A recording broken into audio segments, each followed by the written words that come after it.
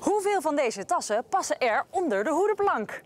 Doordat de tassen op maat worden gemaakt voor elke auto, kun je ze heel snel en handig inpakken.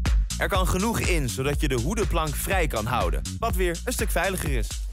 Hé, hey, dat had ik niet verwacht. Er passen gewoon zes van die tassen in.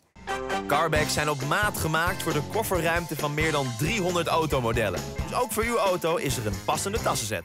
Nou, dan ga ik mooi even kleren kopen om uh, die tassen verder op te vullen.